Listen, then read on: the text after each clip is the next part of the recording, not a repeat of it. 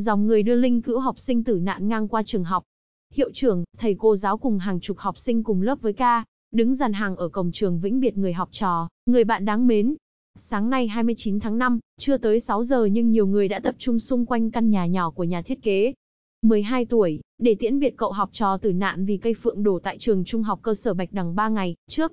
Mặc chiếc áo sơ mi trắng, ông Nguyễn Vạn Phúc, hiệu trưởng trường trung học cơ sở Bạch Đằng đứng nép một góc trước cửa nhà, gương mặt buồn bã.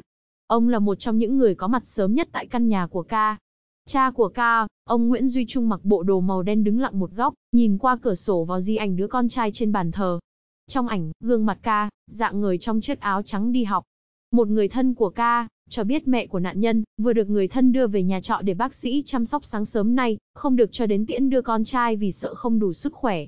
Phía ngoài, ông Võ Văn Hoàng tổ phó tổ 32, phường 14 tất bật cùng người thân, hàng xóm của ca, phụ dọn đường, khiêng vòng hoa và chuẩn bị cho lễ di quan.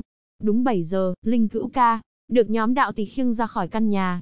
Cúi chào bà con để đi ngoan ngoãn, bình an nào, giọng người đội trưởng đội âm công nói lớn, rồi những người khiêng chiếc quan tài làm động tác cúi chào ba cái. Ngay lúc đó, trời lất phất mưa. Trời mưa tiễn no đó, người phụ nữ trong dòng người tiễn đưa nói. Không tiếng kèn cũng không tiếng trống.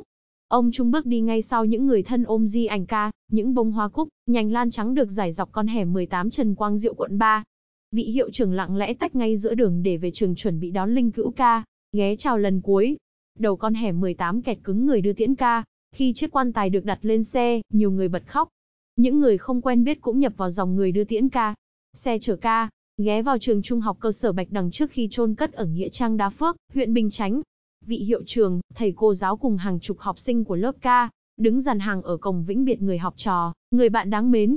VTH, còn gọi là Bon, là bạn học cùng lớp, cũng là người bạn thân thiết ở nhà của ca, đi cùng đoàn người từ nhà ra đến trường học.